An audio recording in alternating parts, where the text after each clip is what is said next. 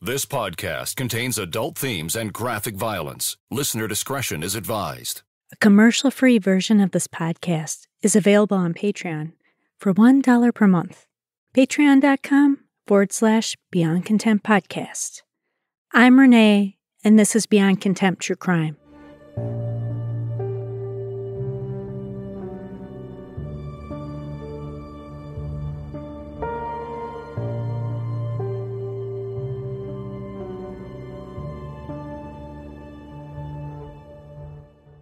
You're listening to episode 38 The Sydney River McDonald's Murders.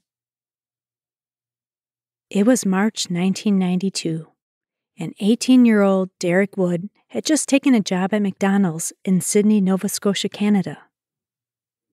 Derek was fortunate since he was a high school dropout and unemployment was over 20% that year, so many people were without work.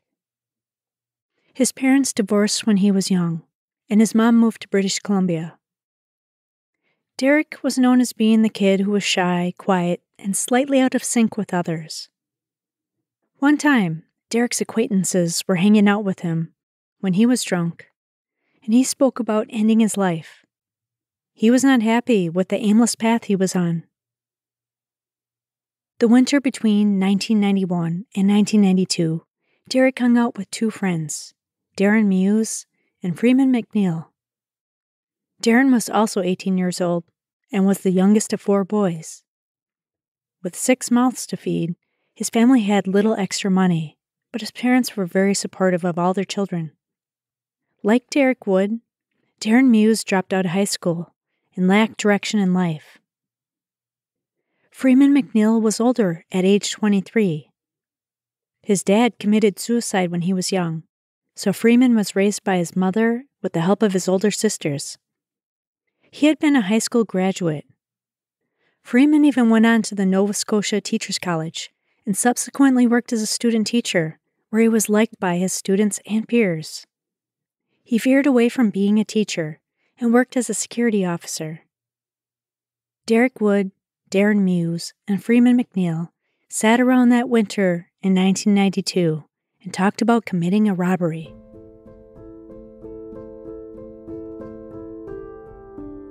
When Darren Wood started working at McDonald's that spring, this plan grew into something specific and shifted into reality.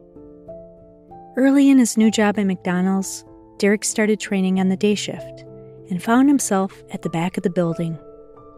Trucks unloaded food supplies to the employees' entrance in the basement at the back of the store. A conveyor belt ran from the employee entrance to the kitchen, but it had broken down. Derek Wood and another employee had to go to the basement to carry deliveries to the storage room. He knew that the employee door was the key to pulling off the robbery. Wood, Muse, and McNeil extensively discussed their blueprint for pulling off this heist. Wood was to leave the McDonald's basement door open after his shift. McNeil would be the driver. Muse would slip inside and watch over the kitchen, and Wood was to open the safe. They discussed having a fourth person stand outside the basement door, and if workers tried to escape, that person could knock them out with a club. Out of the three young men, only McNeil had ever been in trouble for getting into a physical altercation. He pushed a kid outside of a high school and he had been charged, convicted, and was discharged. McNeil knew where he could get a handgun. His girlfriend's father owned a 22 caliber pistol that he kept in a dresser drawer. The expected take for this job was between $80,000 to $200,000. The three men were ready to execute the robbery on April 20th, 1992, but the fourth person who was supposed to guard the door did not show up. Everyone went to the Tim Hortons coffee shop next door to regroup. Over the next several days, they tried to find another fourth person to play lookout at the basement door, but couldn't get anyone who was up for the task. They moved forward with just the three of them. On May 6, 1992, McNeil gave Wood the 22 caliber handgun and drove him to work for his shift at McDonald's. A few hours later, McNeil picked up Muse, and they turned onto a street off the main fairway. They both pulled on a second set of clothes over the clothing they were wearing. The men didn't want any of the evidence left behind from their regular streetwear and figured they would toss the second set of clothes after they completed the robbery. It was just after midnight, and the calendar now read May 7th, 1992. The night crew was trying to finish up all their tasks and get everything prepped so the morning shift could come in and seamlessly start work. 22 year old Donna Warren was the manager of the night shift. Donna was working at McDonald's so she could save money for law school. She had also just purchased a Toyota Tercel. The decision to part with the down payment money and take on a car loan was difficult. Donna was so committed and focused on becoming a lawyer that in addition to working full time, she took courses on the side. She had already attained a high school degree, but took radio and TV courses at a local high school because she wanted to improve her communication skills. Donna knew these skills would be an imperative asset in the courtroom when she would one day become a defense attorney. But until she could fulfill that dream, Donna ran the night crew at McDonald's, and everyone liked her management style. That night, Donna counted all the cash from the day and placed the money into the safe. 29 year old Neil Burrows was one of two maintenance workers at McDonald's. The maintenance guys had overlapping shifts, with one working at 11 p.m. to 7 a.m. and the other working 2 a.m. to 10 a.m. Neil usually worked the later shift, but switched to the earlier one. He was good friends with the other maintenance employee, Jimmy Fagan. Neil had been in a car accident and hurt his back several months ago. The earlier shift was easier since most of the work was cleaning and not as much heavy lifting. Jimmy was nice enough to switch hours with Neil. Neil was married and had one son. The pay at McDonald's was okay, but Neil's wife worked as well. Between the two of them, they could provide a good life for their son and could live close to family and friends. Neil was getting the restaurant ready for the morning crew and had been cleaning the sink after midnight on May 7th. 20 year old Arlene McNeil was working on the last task of her shift and was taking inventory of all the food supplies. She finished the task quickly because the new cashier, Derek Wood, delayed punching out of work and stayed late to help her. Arlene had worked a little with Derek, but didn't know him well. She was grateful that he was proving to be so helpful. Even after Arlene was done, Derek wasn't in much of a hurry to leave work, it seemed. Arlene didn't mind working at McDonald's. She was saving up for college and was leaning towards getting a business degree. Arlene wrapped up her shift, punched out on the time clock, and slipped out of her uniform into her street clothes.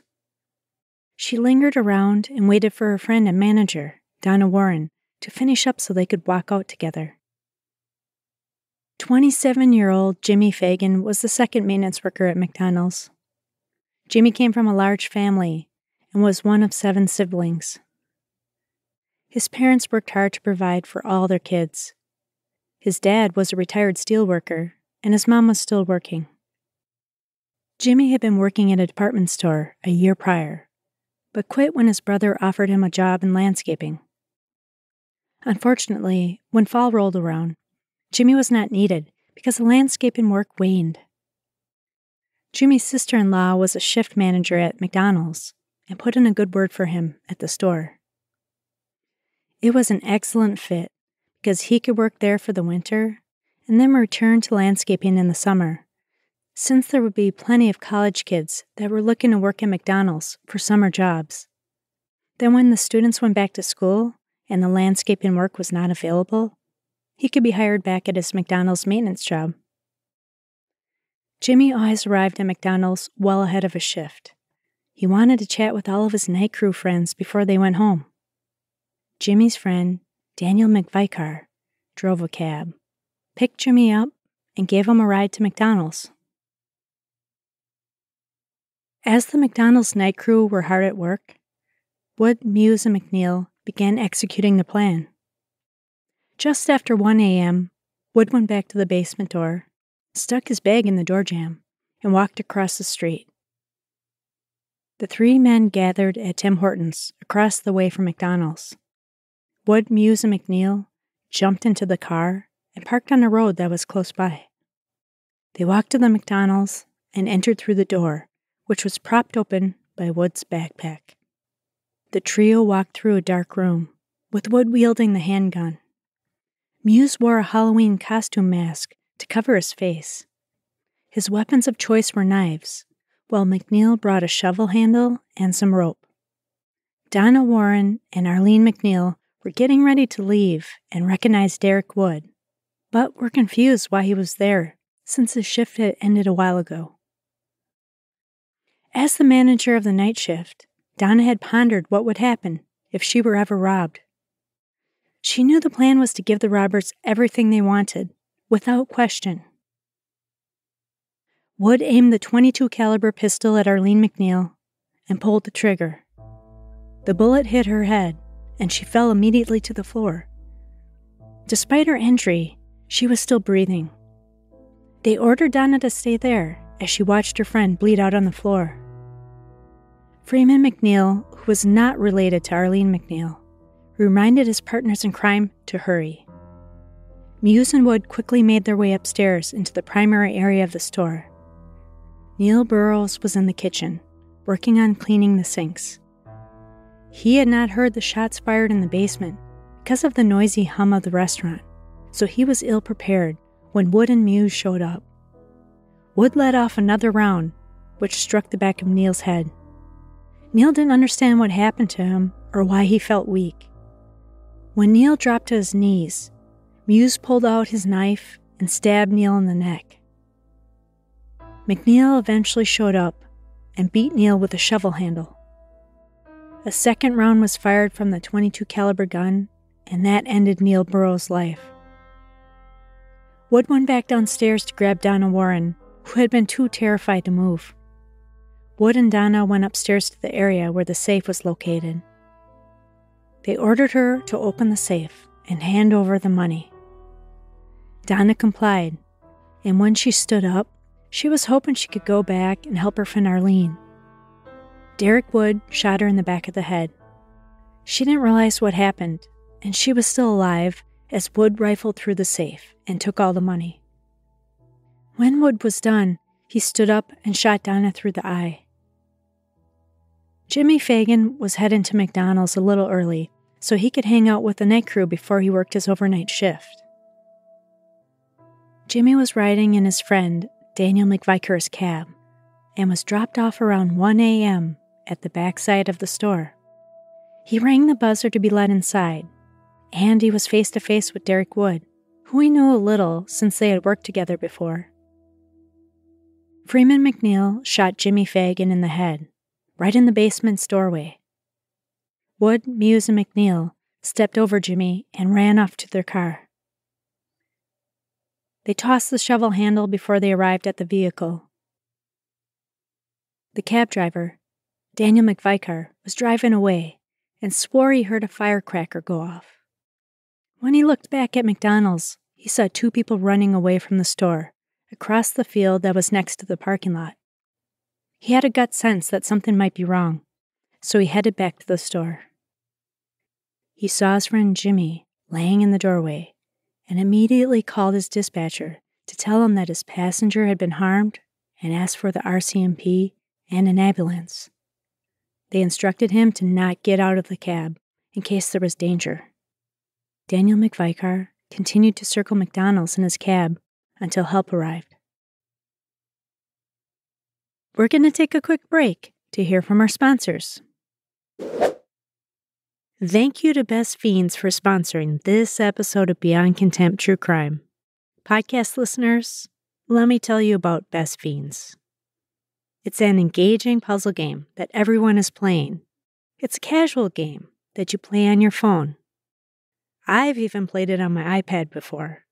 Well, mostly because the eyesight ain't what it used to be.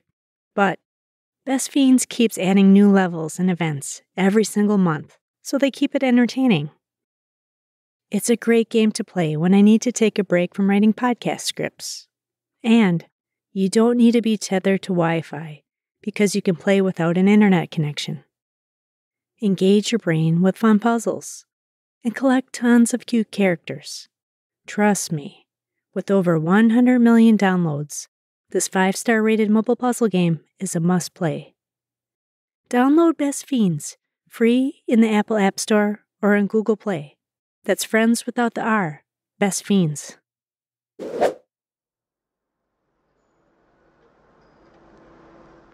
Hi, everyone. I really need to tell you about BetterHelp Online Counseling.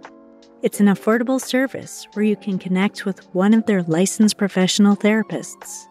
You can find counselors that specialize in just about anything, including anxiety, depression, family conflicts, trauma, and LGBTQ issues. I work from home and barely leave my house, so it's great that you can communicate with your counselor from the privacy of your own home. BetterHelp is more affordable than traditional in person counseling, and financial aid is available. So many people have been using BetterHelp that they are recruiting additional counselors in all 50 states, and you can start talking with your counselor in less than 24 hours. I want you to start living a happier life today. As a listener, you'll get 10% off your first month by visiting betterhelp.com slash beyond contempt. Join over 1 million people taking charge of their mental health. Again, that's betterhelp.com slash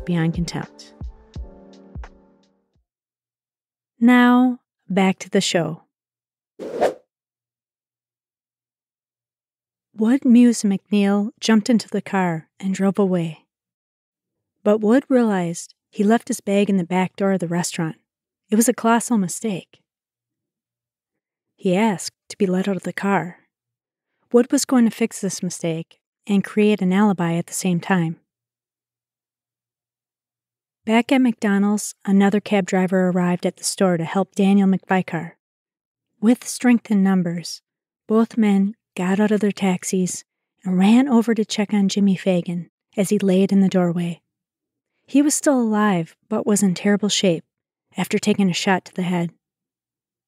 They attempted to care for him, but there was not much they could do until the ambulance arrived. Wood returned to grab his bag, but he saw that the cab drivers were in the store parking lot. He was going to have to leave the pack behind, and instead changed plans. Wood walked over to a nearby convenience store. He was going to call in the crime, like he was a casual witness who had been smoking a cigarette outside the store, when he heard the gunshots. Wood used the store's phone, called in the crime, and boldly gave them his full name. He placed another call to Freeman McNeil's house, but he wasn't home yet. Ambulances arrived at McDonald's, and medical staff were making assessments. Neil Burrows and Donna Warren could not be helped. They were deceased. Arlene McNeil and Jimmy Fagan were still hanging on. They were immediately rushed to the hospital. At the Sydney City Hospital, they determined Jimmy Fagan would not make it.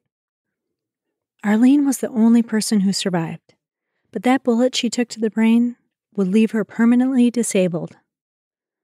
While medical staff were working on Arlene and all the other victims' families were being called to inform them of what happened to their loved ones, Muse and McNeil were ditching evidence.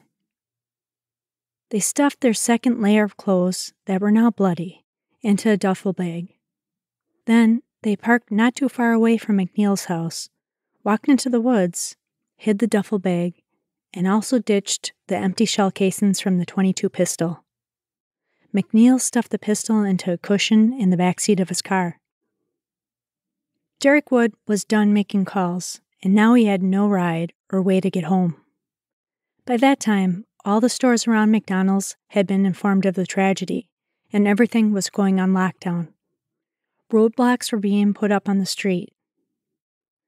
Wood walked up to one of the officers manning the roadblock and informed him that he was the person who had called in the incident.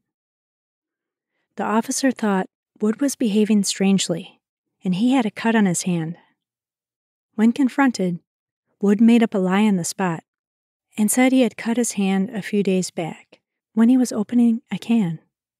The officer asked Wood to come back to the station with him for an interview. Wood's interrogation began at 4:45 a.m.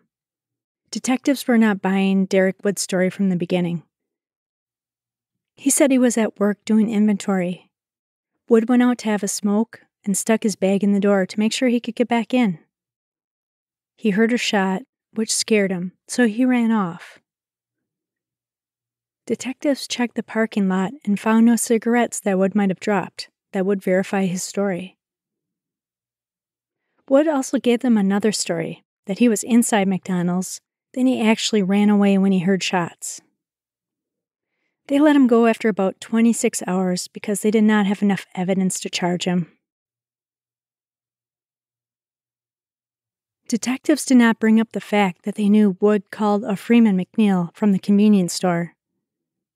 They headed to McNeil's home to speak with him next. McNeil told them that he knew Derek Wood and that he had given him a ride to work at McDonald's at 8 p.m. on the night of the murders, but did not see him after that. McNeil told detectives he went out later that night around 1:30 a.m. to get his girlfriend's inhaler. He saw his friend Darren Muse by Tim Hortons, so he picked him up. He had seen police around the McDonald's and figured there was an accident. RCMP went to find Darren Muse, and when they questioned him, he couldn't remember what route he drove when he was in the car with McNeil to pick up the inhaler. He said that he was too preoccupied with playing with the stereo and looking at books that were in McNeil's car. They didn't buy his story and asked Muse to take a polygraph test. Muse told RCMP that he would think about it. Darren Muse went home and wrote a suicide note. He took a bunch of pills and cut his wrist. This was not so much a suicide attempt as it was a cry for help. The cut he made to his wrist was superficial and his life was never in jeopardy. Muse did eventually take the polygraph test, but he failed. When pressed about why he failed, Muse refused to tell RCMP anything useful. Freeman McNeil was also asked to take a polygraph test, which he agreed to, but failed. They asked him to explain himself, and he told a story that would sink his two friends, Derek Wood and Darren Muse. McNeil said he picked up Muse after the murders, and Muse told him that Woods went crazy. He shot up everyone at McDonald's. McNeil delivered a story that was filled with some truths and some falsehoods, none of which implicated himself. He told the officer that Muse made him stop so he could dump evidence in the woods. RCMP knew McNeil wasn't telling the truth and had already found out he had been practice shooting with a gun the week prior to the murders. They held Freeman McNeil in custody the night of May 15th. Derek Wood had been out celebrating his birthday with his cousin, Mike Campbell, when RCMP arrested both of them. At that point, they weren't sure if Mike was involved. They released him once they verified he had nothing to do with the crime. They picked Darren Muse up last. Muse asked for a lawyer, but started talking and told police where the weapons were located. On May 16, 1992, 10 days after the initiation of the crimes, they charged Derek Wood with two counts of first degree murder and one count each of attempted murder, armed robbery, conspiracy to commit robbery, and unlawful confinement.